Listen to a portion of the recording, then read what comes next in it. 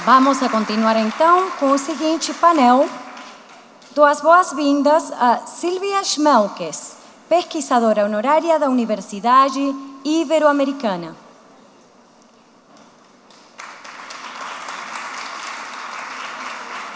Dina Castro, professora e diretora do Instituto de Pesquisa para o Bem-Estar da Primeira Infância da Universidade do Boston. Se acomodando, por favor, bem-vindas. Sanderson Oliveira, coordenador do curso de especialização em educação escolar indígena da Universidade Federal do Amazonas. Bem-vindo. Bem e a nossa moderadora, Emma Naslund Harley, especialista líder em educação do VID.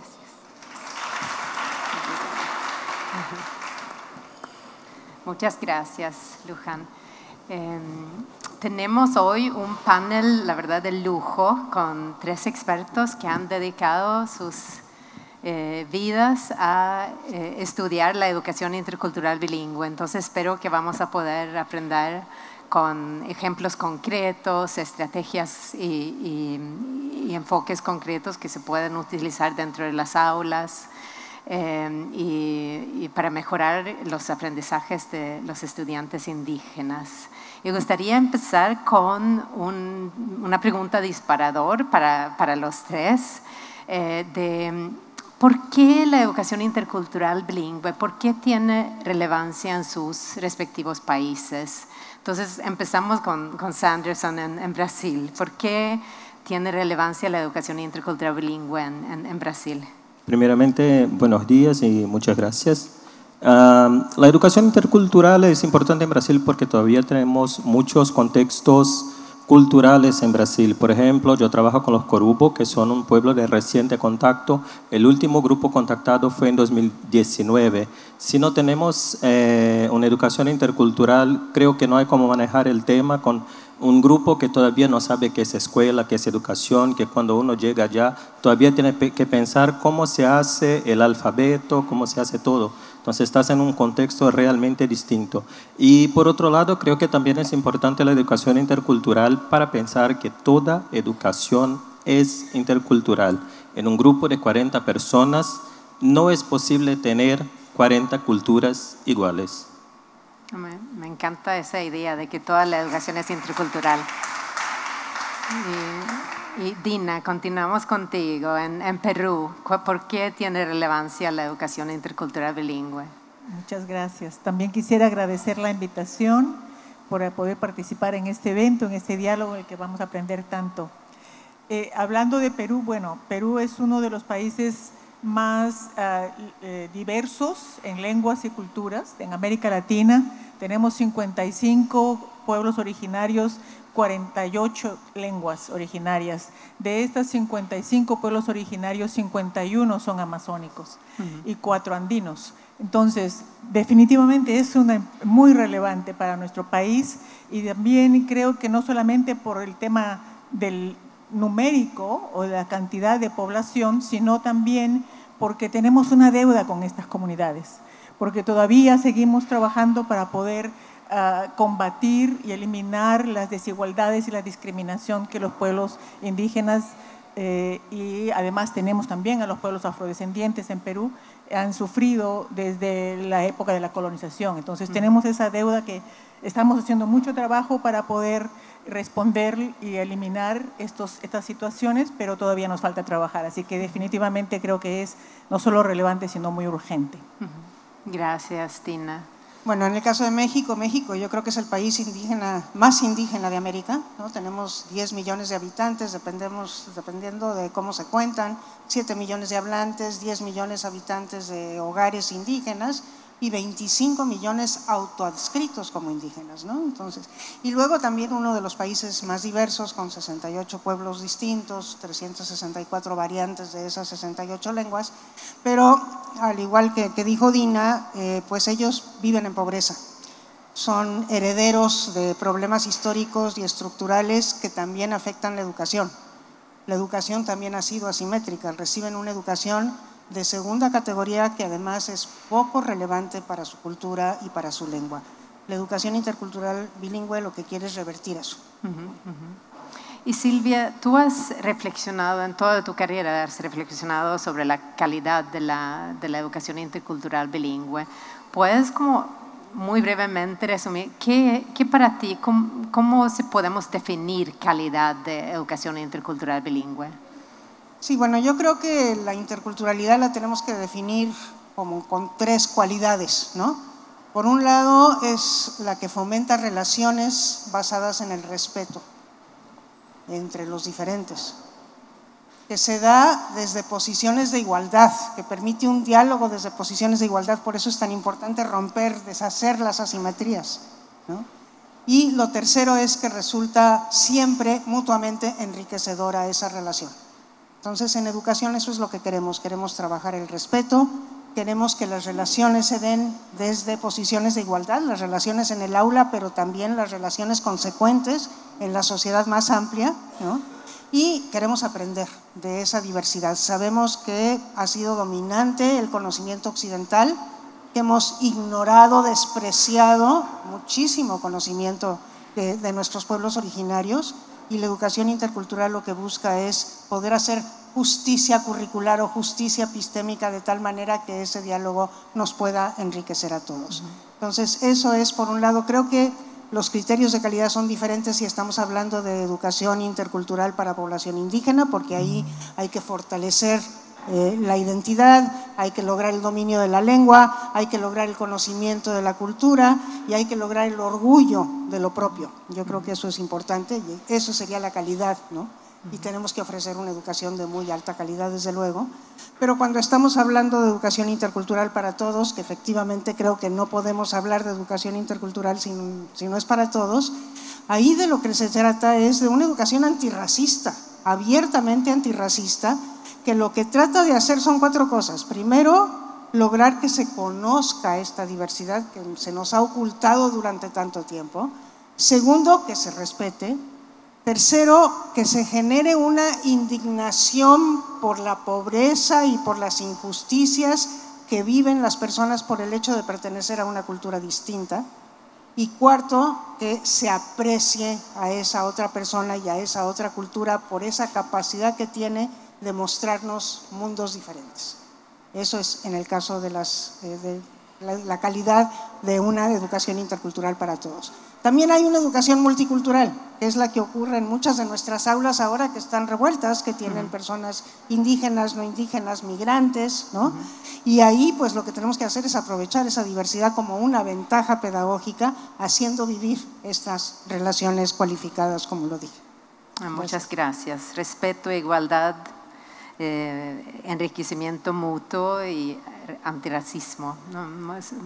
Muy válidas, eh, válidos elementos de, una educación intercultural bilingüe de calidad. Interesante. Y, Dina, tú que has trabajado tanto en educación intercultural bilingüe, incluso desde primera infancia en, eh, o educación inicial, ¿cuáles son los obstáculos más grandes a una educación intercultural bilingüe de calidad? Ah, quisiera mencionar eh, un elemento importante para conectar con lo que está diciendo Silvia. Primero es la, eh, un trabajo que hicimos eh, con maestros chipivos de la región amazónica de Perú. Les preguntamos qué entendían ellos por interculturalidad porque nos parecía que era muy importante también recoger la opinión, la perspectiva y la visión de los docentes. Y ellos nos dijeron algo muy, que nos, nos pareció muy importante, es primero necesitamos, el primer paso hacia la interculturalidad es la afirmación de nuestra cultura chipiva. Y después nos podemos vincular con la cultura nacional, entrar en ese diálogo intercultural. Lo que me pareció impactante fue esa separación entre ellos y la cultura nacional. Yo pensaba que todos éramos peruanos y nos sentíamos parte de la nación peruana, pero parece que no es así con nuestros muchos de nuestros pueblos originarios. Entonces ahí hay un elemento también muy importante que sí hay que respetar. La afirmación de la cultura propia es un elemento hacia el logro de la interculturalidad y si no, no es el primer paso, ¿cierto? Bueno, ahora voy al tema de los obstáculos, de lo que hemos observado en nuestro trabajo. Uno de los obstáculos más grandes es la disponibilidad, o sea, que hayan maestros, docentes preparados en educación intercultural bilingüe, que hablen la lengua originaria y que sean parte de esa cultura originaria. Eso es el mayor reto que hemos encontrado. Hemos visto maestros quechohablantes enseñando en escuelas chipivas, maestros monolingües castellano enseñando en escuelas aymaras y nadie bilingüe, lo cual es mucho peor. Bueno, no sé cuál es peor, pero el punto es que no hay docentes. Entonces, para cubrir las plazas docentes, estamos, eh, se, se postulan ahora, hay por razones de política, en el Perú se eh, era un requisito hablar la lengua originaria para poder ser maestro. Parece que recientemente eso está cambiando, justamente por la falta de disponibilidad de maestros y se están abriendo las plazas a maestros que no hablan la lengua originaria en esa comunidad. Entonces, ese es el reto más importante. Y el segundo, eh, o sea, tenemos que trabajar de cómo estrategias para poder eh, formación docente y abrir eh, escuelas, programas de formación docente en educación intercultural bilingüe eh, en, nuestro país y en América Latina. El segundo reto es la, disponibilidad de materiales culturalmente apropiados, lingüísticamente apropiados. Perú ha hecho, tiene un, gran esfuerzo, un, trabajo muy importante, creo yo, en la producción de materiales en, en las 48 lenguas originarias del Perú y para los diferentes grados desde inicial hasta secundaria. Entonces, a ver, eh, es un esfuerzo importante porque debemos de pensar que para la mayoría de estas lenguas son lenguas orales, de tradición oral, y entonces crear alfabetos escritos y lengua escrita para todas estas lenguas es un reto, y ha sido un reto, pero lo estamos logrando. Entonces estamos avanzando en esa dirección, lo cual es importante. Lo que nos parece ahora eh, que, hemos llegado hasta ahí es que hemos visto en nuestras visitas a las escuelas interculturales bilingües que algunos de los, eh, que los maestros no estaban usando esos materiales. Entonces, eh, algo pasa con la idoneidad de, los materiales que están disponibles y que algunos maestros nos han dicho, por ejemplo, que parece que en el proceso de traducción, de crear la lengua escrita, los materiales están en, en un nivel del lenguaje que está muy arriba, muy avanzado para el grado en el que se está enseñando, por ejemplo. ¿no? Eh, el, otro tema es que los maestros indígenas hablan bien las lenguas, no, ellos no han crecido eh, con la lengua escrita en su lengua originaria. Entonces también eso parece ser otro reto para ellos. ¿no? Estoy mencionando un par de ejemplos nada más, pero creo que así como vamos avanzando, es, es un buen problema de tener, porque los materiales existen y ahora necesitamos seguir mejorando y evaluar eh, cómo podemos hacer que se logre el objetivo. Gracias, Tina. El, el tema de, de, falta de docentes entrenados en eh, pedagogía EIB me lleva a la, una pregunta que quería hacer a, Sanderson, ¿no? Porque tú has trabajado con un programa de pedagogía intercultural. Eh, indígena en la Universidad del Estado de Amazonas y también has trabajado con formación de profesores indígenas de la Universidad Federal de Amazonas. Entonces, si nos podrías comentar un poco de esas experiencias. Sí. Ah, bien, la cuestión de la formación de profesores indígenas en Brasil y creo que en América Latina empieza con una cuestión intercultural porque están involucrados los indígenas y se necesita formarlos. Y lo que se diagnostica inicialmente es que la pieza clave es el profesor indígena, el que maneja la lengua, el que maneja su cultura, el que está constantemente luchando por sus derechos, hay cuestiones políticas y todo más. Entonces, estos, estas carreras específicas que existen en por lo menos 14 eh, universidades de Brasil, yo tuve la oportunidad de trabajar en dos, en UEA y en UFAM, eh, ellas vienen a fortalecer este principio de formación de profesores indígenas que hablen su lengua, que conocen sus contextos y que puedan ayudar a fortalecer su lengua y cultura. Además, son formados como, como profesores investigadores. Nosotros profesores asumimos que no sabemos todo de todas las culturas. En Brasil son como 180 lenguas, casi más de 300 pueblos.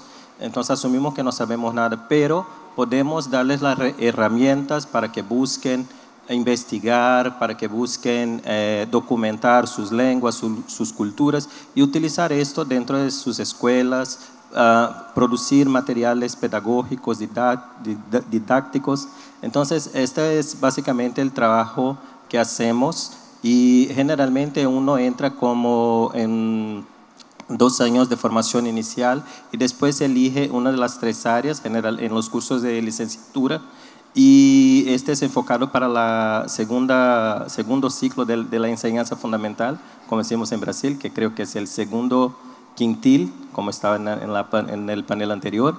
Y bueno, la pedagogía intercultural viene exactamente de una demanda de los indígenas que querían aprender a alfabetizar en sus lenguas, asumiendo que muchos de ellos hablan bien la lengua, pero que todavía no manejan la tecnología que a mí me parece la más revolucionaria de la historia humana, que la escrita, que nos dio una memoria extra, que nos dio el primer disco duro de la humanidad, fue los sistemas escritos.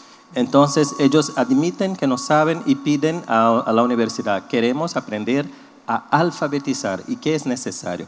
Es necesario aprender a reflexionar sobre su lengua, entender que su lengua tiene estructura, es preciso aprender técnicas de alfabetización y es necesario trabajar el contenido cultural.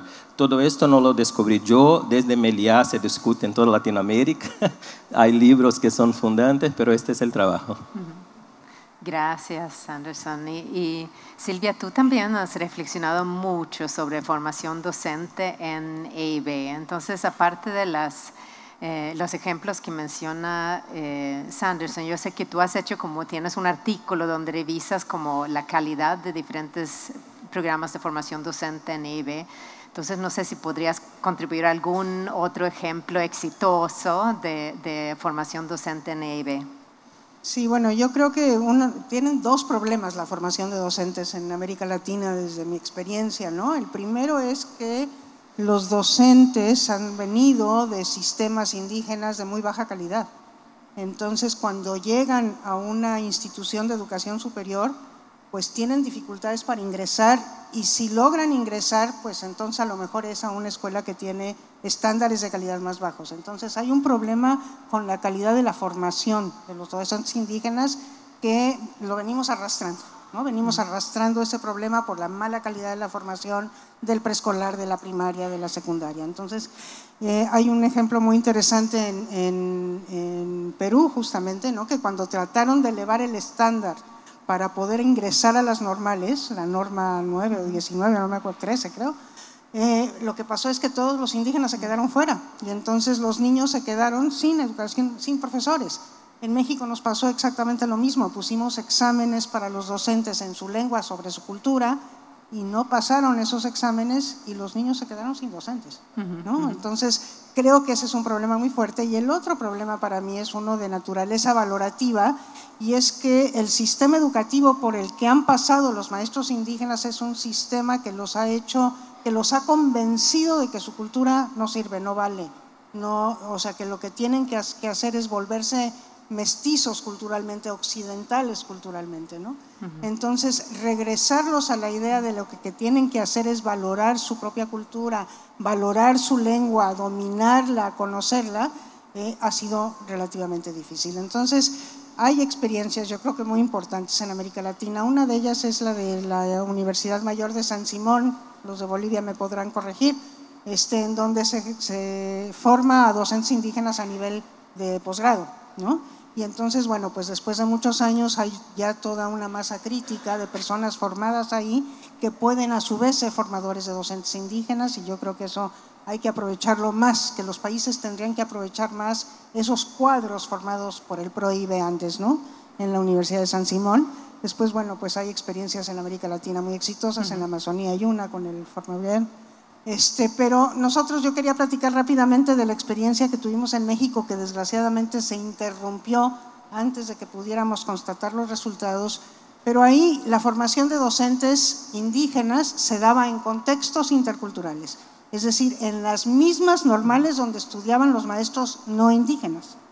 Pero el currículum del 85% era común, pero interculturalizado. Era un currículum que, por ejemplo, cuando estudiaban el desarrollo del niño era un, programa que ya incorporaba las prácticas de crianza indígenas. y así las diferentes asignaturas. Y había un 15% adicional para los que iban a ser profesores indígenas, en donde estudiaban su lengua, su cultura, la didáctica de una segunda lengua fuera del español o la lengua indígena, porque ahí donde se está perdiendo la lengua indígena en México se pierde continuamente alguna lengua. Entonces es necesario recuperarla, pero entonces es necesario volver a enseñar la lengua indígena a quienes ya la perdieron para recuperar la lengua, ¿no? Entonces la enseñanza, la didáctica de la enseñanza de una lengua como segunda lengua, sea el castellano o sea una lengua indígena. Y entonces, esta experiencia intercultural hacía que todos se formaran en interculturalidad y además que se reconociera que los indígenas requieren de una formación adicional porque son maestros bilingües e interculturales. Gustaría, nos están acabando el tiempo, pero levantas un tema muy interesante que mencionaste de, de, que cuando levantamos los estándares de admisión a los institutos de formación, entonces a veces dejamos fuera los, los futuros maestros de pueblos indígenas. Entonces gustaría preguntar a, a Sanderson rápido si eh, eh, algunas reflexiones tuyas sobre, sobre ese tema y luego gustaría dar una pregunta, del, porque tenemos varias preguntas del público y gustaría dar una a Dina para concluir después, muy rápido. Sí, yo creo que tenemos problemas que tenemos que reconocer y trabajar, pero también hay dos cuestiones. Uno ya ella tocó, que es la cuestión de valorar los conocimientos sociales de los indígenas, culturales, todo. Bueno, esto es parte de cualquier escuela. Uh -huh. La parte social que se enseña, no estoy diciendo del de, la convivencia, del contenido que se enseña, la parte social, la historia. Por ejemplo, casi toda la sobrevivencia en la Amazonía del siglo XVI a XIX los enseñaron los indígenas a los portugueses en Brasil. Esto lo tengo seguro, dónde irse, cómo conservar la carne, cómo eh, sobrevivir en la, en la selva, todo eso, pero eso nos enseña. Esto nos enseña en nuestra escuela normal, en la escuela indígena, y muchos indígenas cuando descubren, dicen, ah, esto lo hacemos allá en nuestra casa ya hace mucho. Sí, lo sabemos, pero y, muchas veces cuando van a la escuela se enseña el contrario. No, ustedes no, no, no, no, no contribuyeron, la contribución indígena fue menor. Entonces hay una cuestión de los contenidos que se necesita trabajar, sí. Y también en esta cuestión yo creo que también hay que pensar cuáles son las competencias que estamos eh, evaluando. Por ejemplo, me llama la atención que el primer posgrado que empezó a tener cupos específicos para indígenas que estudian sus lenguas fue el MIT. No fue en Brasil, no fue en Perú, wow. no fue en ningún... Esto es, incluso está en el libro de Pinker y es público y muy conocido.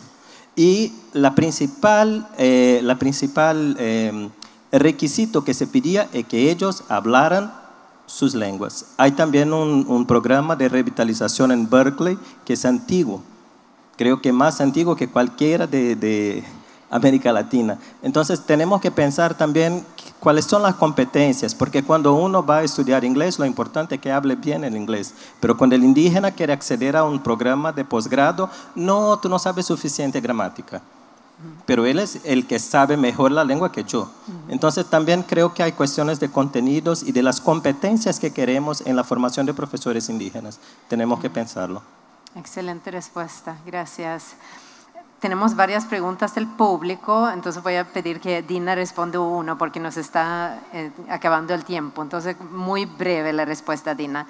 ¿Qué papel juegan los padres y la comunidad en apoyar a la educación intercultural bilingüe? ¿Aló? Ah, sí. sí. Me encanta esa pregunta porque era un tema que tenía en mis notas que quería abordar, así que perfecto.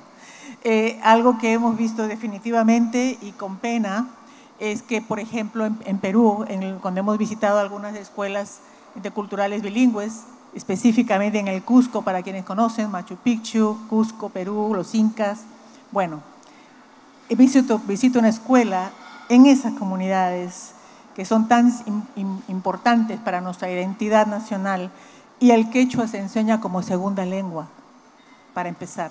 Segundo, que los, maestros nos contaron que lucharon muchísimo para poder tener niños inscritos en esa escuela, porque los papás no los querían matricular. Eh, no querían que sus hijos aprendan quechua. Estando en el Cusco. Así que imagínense cómo podemos mirar otras comunidades. Entonces es un problema muy grave realmente el hecho de que el, racismo realmente, la discriminación que han sufrido posiblemente, esta es nuestra interpretación, estos padres de familia indígenas, hace que ellos no quieran que sus hijos aprendan su lengua originaria porque piensan que los van a discriminar. Por otro lado, piensan, valoran más que puedan aprender inglés porque eso les va a abrir unas mejores oportunidades, ¿no? Sabemos que una persona bilingüe puede agregar dos o tres o cuatro lenguas fácilmente.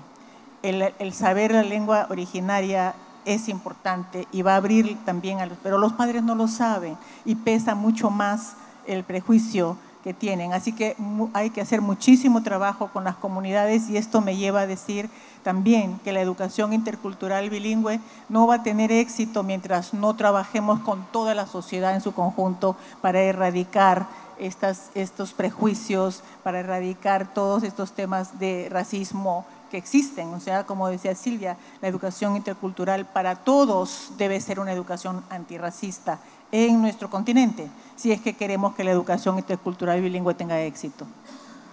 Mil gracias a, los tres. Súper interesante, muchas gracias. Espero que la conversación pueda continuar luego con las autoridades. Gracias.